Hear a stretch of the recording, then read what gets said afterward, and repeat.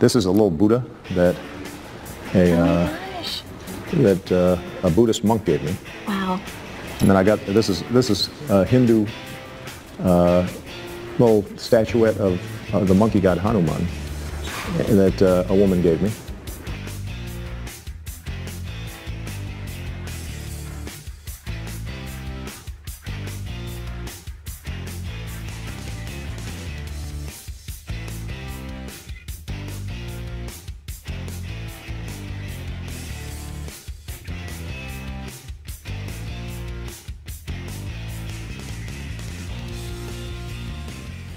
Everybody, it is I, Gary Schumacher, and welcome to another exciting episode of Heretic Hump Day. I am uh, here today to call out some heretics and uh, uh, welcome back. I uh, had a very busy week this week. I was, uh, we were celebrating my daughter's 16th birthday, and my wife and I are completely exhausted um, because we had it at a um, an Elks Lodge, which my daughter is an antler at. and uh, after the party was all over and everybody left and we had to break the party down and the tables and the chairs and, and bring all the leftover food home. And we didn't get home till like after midnight. So it was, very exhausted today. So I am a little, little bewildered, but I, I trudge on here. that's what, that's what dads do. So as you saw that opening clip, um, that is our former president Barack Obama, who claims to be a Christian, but those little statuettes that he's showing that young lady there are uh, things that he carries around in his pocket. Now, I'm going to get a little bit more into the, the longer uh, version of that clip here in a few minutes. Um, but the last I checked, wasn't he supposed to be a Christian? Now, how many of us walk around with statuettes of Buddha and the the monkey god Lord Hanuman in their pocket. Okay, I don't know what that's about. Uh, how how a um, now he has to carry around these little trinkets like they're like they're good luck charms or something like that. It even she even shows later that he carries around a lucky poker chip that somebody even gave him. But this this is just distur- disturbing to me. Um, so, so what's he do? Does he bow the knee to the Hindu god Hanuman now, uh, and Jesus Christ? Because you can't have both. That's not how it works. Um, he he said for years that he was a Christian because he wanted to become president, and he needed the people uh, who of Christian faith to vote for him. So that's what he did. I don't believe, I never did believe that that man was a Christian. I've never seen him walk out of a church. Have you? Is there any, they have him uh, uh, followed around by camera everywhere he went for eight years. And never once did I see him walk out of a church, um, I, unless it was one of these, uh, you know, maybe maybe Creflo Dollar or something like that. I don't know, but uh, yeah, I, it's it's funny how that you can always you see uh, Trump going to church. You see even Joe Biden is Catholic. He went to church. I don't know how you know how much of a practicing Catholic he is, but uh, he um, but Obama, the paparazzi never got him. never got him leaving the church. I don't understand it. And I've never seen him bow his head in prayer um, like some of the other presidents we've had. So, yeah, I, I just don't know about this guy. And now he is um, bowing to the monkey god, Lord Hanuman. I mean, the level of deception from him is completely unreal these days. So um, I got that clip from a uh, YouTube channel called Nick Jones, and the name of the video that uh, I sampled from was the shocking connection between Obama and this 90-foot demon statue, which is uh, been erected in, of all places, Texas. Now I'm going to play some of the clips, uh, a clip from his uh, podcast, and uh, and if you haven't already checked him out, please go check him out because he's got he puts out outstanding content, and I and I do uh, frequently watch his uh, content quite often. I, I really do like Nick Jones. He really does study scripture, and he is uh, has sound doctrine, and he he calls him out. He calls him out when he sees it. Do we we do need more people like him? So let me just jump to some clips here. Hold on. This is what I had in my pocket today. Uh, I've got, this is, this is uh, rosary beads that uh, Pope Francis gave me. Wow. Uh, that, I, that obviously uh, means a lot to me because I, I so admire him, and it makes me think about you know, peace and uh, you know, promoting understanding and ethical behavior. Um, this is a little Buddha that a, Oh uh, gosh. that uh, a Buddhist monk gave me. Wow. Uh, this is a And this woman who's interviewing him is in such awe of him. Everything that comes out of his mouth, she's just in great glee of. lucky poker chip that's metal Oh wow, that's really cool. that uh, uh, this biker gave me. he was like bald and he had like a big uh, handlebar mustache and a bunch of tats. And this is when I was in Iowa in 2007. So he said, "This is my lucky poker chip. You can have it." And then I got this is this is a Hindu uh, little statuette of uh, the monkey god Hanuman that uh, a woman gave me. And I've got a Coptic cross. This is from Ethiopia. Wow. So this is what our former president Barack Obama carries around in his pocket. This is the monkey god Lord Hanuman. Now it says here, people of the Indian origin inaugurated a 90 foot tall statue of Lord Hanuman named the Statue of Union in Houston, Texas on Sunday, August 18th. This majestic statue located at the, and I'm going to try to pronounce this, Shri Arataza, forget it, temple in Sugar Land, Texas, where God's gum, guns and freedom were born, stands as a third, the third tallest in the United States. The third tallest in the United States. Look at the size of this thing. To give it some scale, there's a crane at the bottom of, of the foot there, and there's a man standing between his legs, her legs, I don't know. Um, to give it some scale, that is one big ugly statue is what that is. And uh, that's who Barack Obama is carrying around in his pocket, the monkey god Hanuman. Okay. This is supposed to be a Christian man. And he carries these, he's, he's to me, he's a false idol worshiper. It's exactly what he is. Okay, so I just want to switch gears here for a minute and talk about this guy again, Mark Taylor, who I did, I've done a couple of videos on since, like I said, he crawled out from under his rock again. And uh, let's just switch over here. I want to show you something because I've caught a little flack about the um, the videos I've done on him recently. Uh, and uh, but I want to give you a little background on what he was up to several years ago when he's running around screaming about the 501c3s and all his conspiracy theories. He put this out. Uh, this is a uh, what I like to call the Mark Taylor Oath. Okay, and uh, I'll read it to you. Army of God Declaration of Unity. So he was putting this out and I want his followers to sign up with him for this. All right, this is pretty ridiculous stuff here. All right, so I'll, let me read it to you real quick.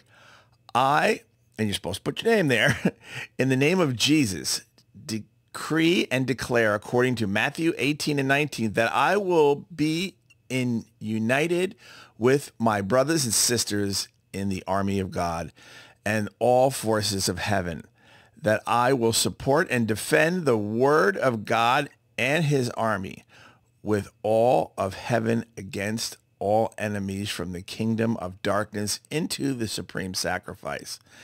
So yeah, this is kind of a like, an oath uh, that something like what the military would would uh, sign up for. I did something similar to this when I joined the Navy. I will not fire upon those in the army of God, but will direct my fire upon the enemy and enemy al- alone. I will protect my brothers and sisters in God's army from any assault that the enemy may launch. I will bear truth, faith in the legion to the same on and off the battlefield. All right, so anybody who's been in the military uh, will know th- this sounds a little familiar. This is the oath that they give you during the swearing in when you're in the military. And uh, that is uh, where I guess he's kind of plagiarizing this. And um, so, yeah, this is uh, this is a very interesting uh, little thing he's done here.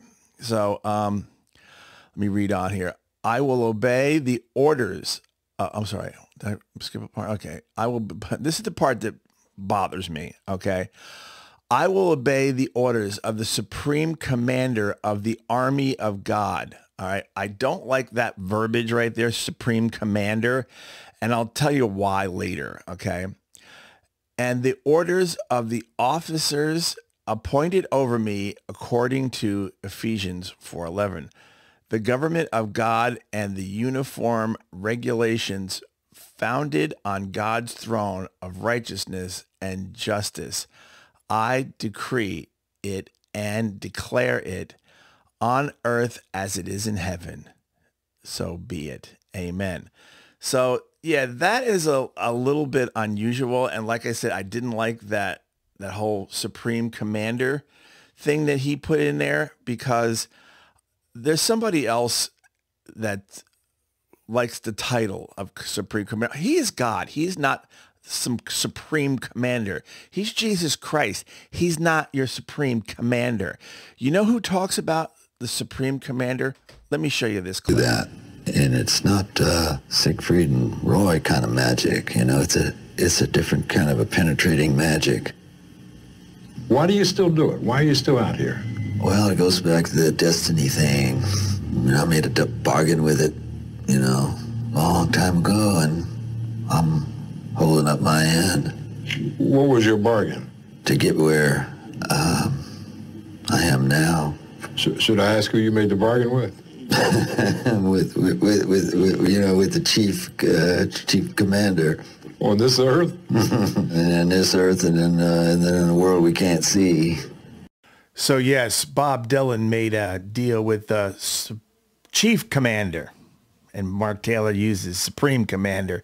Either way, that's somebody you don't want to make a deal with. Okay. And um, for Mark Taylor to put out that, that kind of rhetoric is you know, really in poor taste and very unbiblical.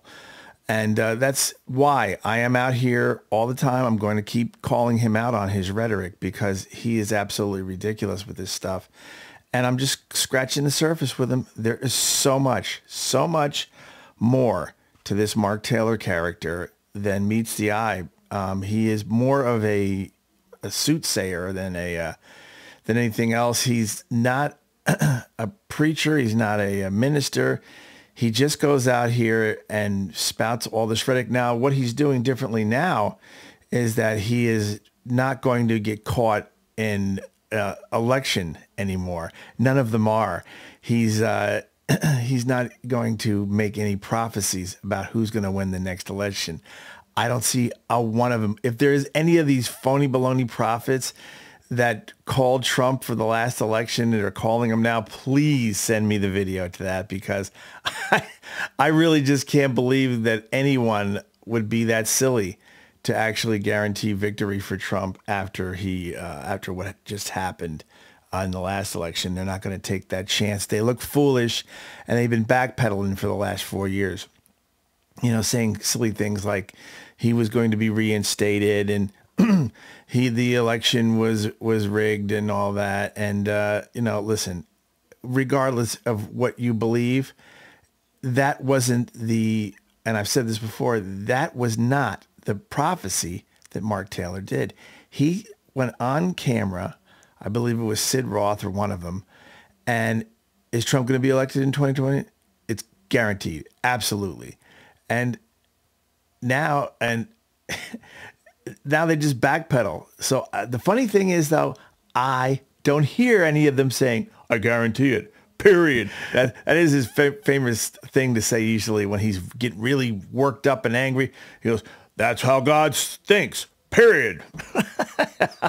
he was always doing, he still does it when he gets himself in, into worked up into a frenzy like that. So yeah, um, if you can find a, uh, a clip of Mark Taylor guaranteeing the, the 2024 election now, please have no problem. Send it to me at gschumacher429 at gmail.com and I will, will use it on this program. So next up, I want to talk about this creature right here, Billie Eilish. Okay.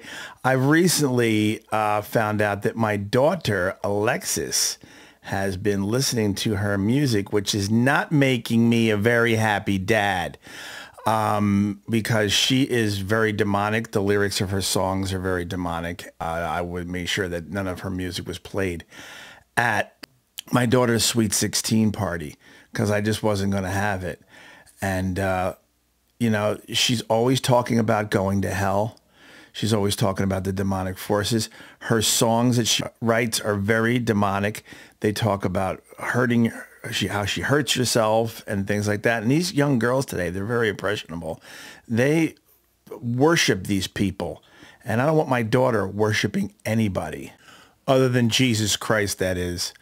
So I have this clip I want to show you from uh, Matthew 7:15, uh, put out a little while ago, and it basically sums this girl up 100%.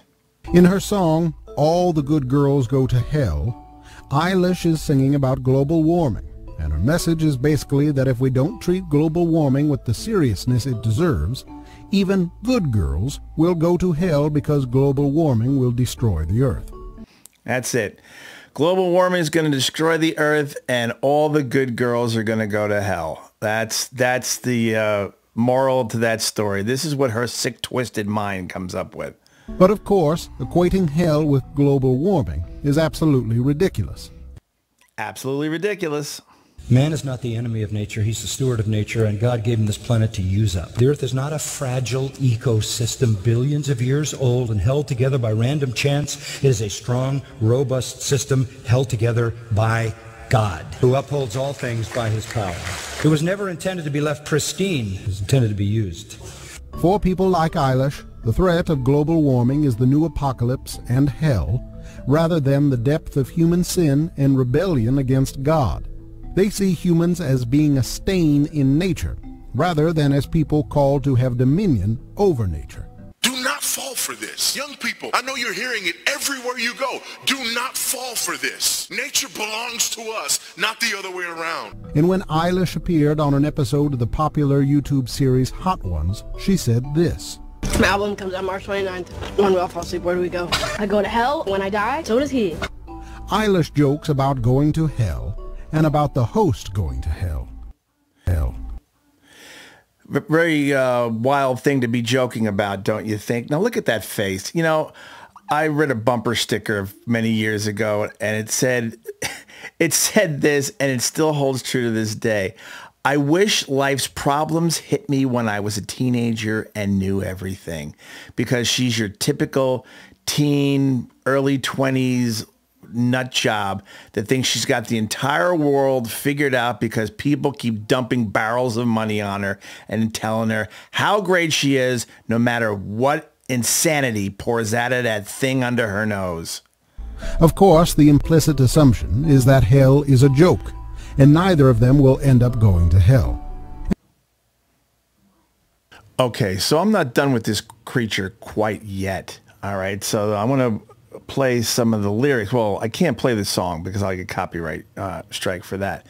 But what I can do is show you the lyrics to this song and how demonic they could be. I'm actually irritated by it so much I only can get through half of it before I had to stop it. So um, hold on one second here.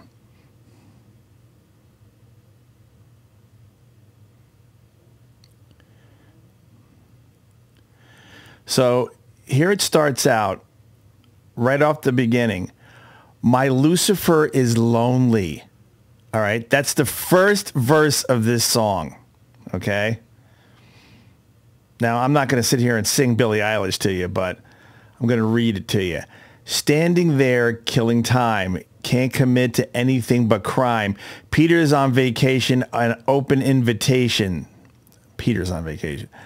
Animals, evidence. Uh, pure, pearly gates look more like a picket fence. Once you get inside them, got your friends but can't invite them. Hills burn in California, my turn to ignore ya.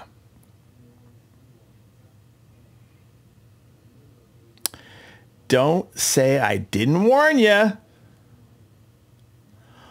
All the good girls go to hell. Nice lyrics, huh? I'll get better. Because even God herself has enemies. And once the waters start to rise and heaven's out of sight, she'll want the devil on her team, meaning God in the female sense. All right, so that that is about as far as I could get before I was just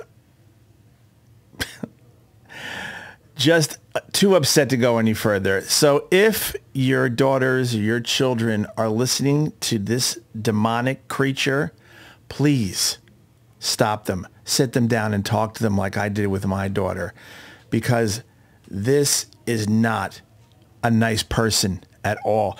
You thought that, uh, you know, and it's no different than, I mean, it's gotten worse. I mean, we, in my generation, we had, uh, you know, the Rolling Stones and Ozzy Osbourne and all the, the, you know, heavy metal nonsense, which I didn't listen to, but it was around and I knew people that did. And uh, it's, you need to stop what you're doing, pay attention to what your kids are listening to because this type of thing will bring them down a very dark path. And I don't want to see that for anyone. This, this media of music has been for a very long time um, controlling the minds of our youth and dragging them down. Um, she is 22 years old. I just Googled her. She's 22 years old. She's been famous since her, I believe, her late teens. Um, and she has just wrapped her tentacles around this generation's young people and it nearly needs to be addressed. We have to stop ignoring things like this because this is not God's music. So I just want to switch back over here real quickly to play you just some of the end of this song too. I skipped out all the middle ridiculousness. And uh, so, I mean, right there just makes my skin crawl just those words. My Lucifer is lonely. Um, but here. So she goes on with all this nonsense. There's nothing left to say now. My God is going to owe me. Now, who exactly is her God?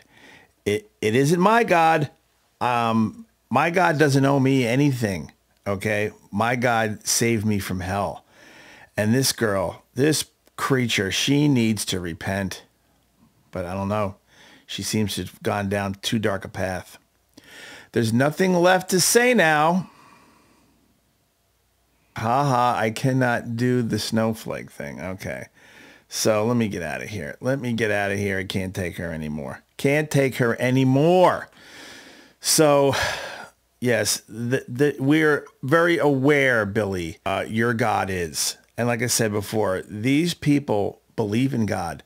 Demons in hell believe in God. All right. They hate God, but they believe in him. The people who are the most ignorant in the world are the people that don't think there's a God.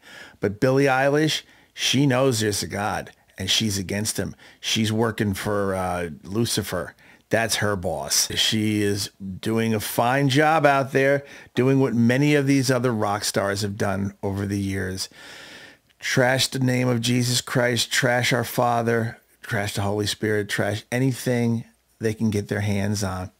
Uh, and just basically trash Christianity and the people as a whole. Laugh at us like we're we're foolish and stupid, but we're not. There's going to be weeping and mashing of teeth for you one day, my dear. And I pray, I pray to God that someday you are delivered from this. All right. Cause you got some kind of demon running around inside of you and you really need to repent, get away from this. It, it just amazes me how Hollywood and the, and fame and fortune just completely corrupt people. I'll bet you dollars to donuts before she start, she got famous, she's probably a nice person.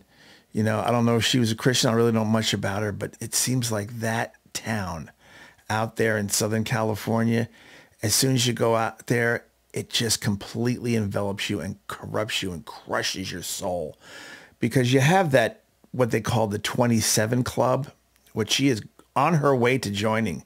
She's only 22 and that was uh, I'm trying to think of some of them. Janis Joplin was one of them. Uh, Jimi Hendrix, Jim Morrison, uh, that group of people at 27. I mean, I guess Elvis Presley was an old timer at 42. Um, but uh, yeah, a lot, yeah, of, them died. of them died from drug overdoses and, and things like that, and uh, that uh, that just makes then they become you know bigger than they were when they were alive. Elvis was absolutely at the tail spin of his career. Um, he had he had become a, a, a joke of his own self. I mean, he was he was way past squeezing into a sequin jumpsuit at that point in his life, but still he dragged himself out there, all fat and incoherent, and babble on uh, his songs to to the masses, just to make a buck out there. At the end of his life, he was a sad clown. At the end of his life, and all these people will be too one day.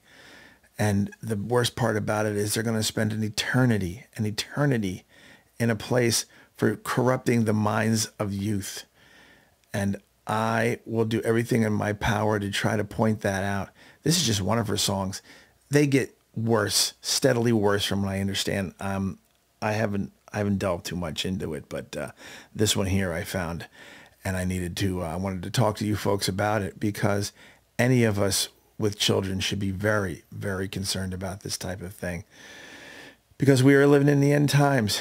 And I know my audience is a little bit older, so it'll be a lot of times it'd be your grandchildren that could be listening to this.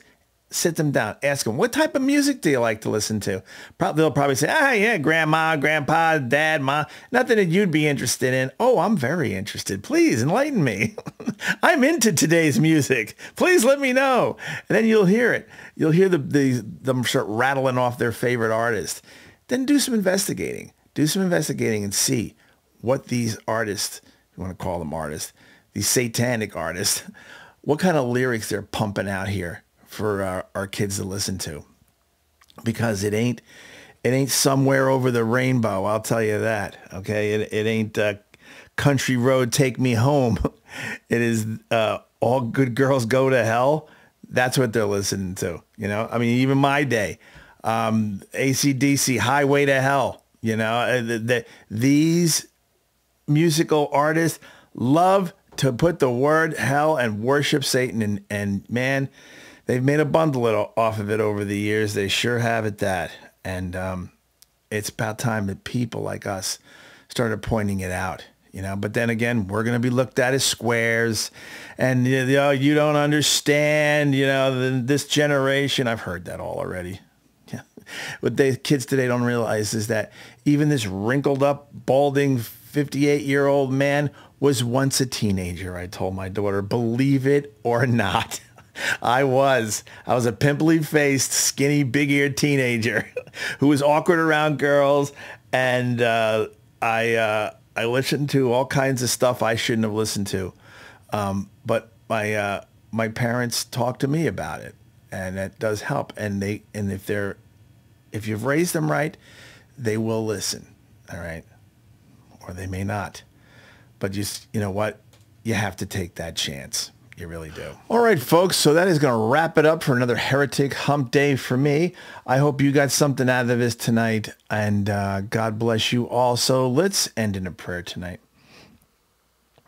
So Heavenly Father, obviously, Lord, I'm coming to you tonight with a prayer for our youth out there. They're under attack each and every day by people like your Billie Eilishes and your, even my day, your Ozzy Osbournes and things like that, trying to corrupt their mind and make evil seem good and good seem evil. And Lord, I pray tonight that you open these kids' eyes and let them see your holiness and let them invite the Holy Spirit to come dwell inside of them because with that, Lord, they can do so much better than what this generation has been showing so far. So with that, Lord, I pray in the name of the Father and of the Son and of the Holy Spirit. Amen. Okay, folks, that's going to do it for me tonight. Um, I'd like to thank everybody for coming out here and God bless you all.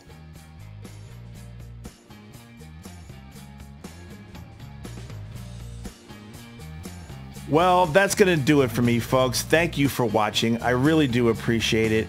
And if you didn't subscribe in the beginning, please subscribe now. And thank you so very much. I would also like to ask if you would please pray for these people who are caught up in this delusion of following these false teachers and false prophets, that they someday will wake up and come out away from this, these wolves in sheep's clothing. Also, let's pray for the false prophets and false teachers as well. Pray that they would stop deceiving the body of Christ, that they will shut down these blasphemous ministries and repent before it's too late. I would also like to ask if you're interested in supporting this ministry, if you can, please do so. You can go right down into the description box and I have a few different ways you can do that.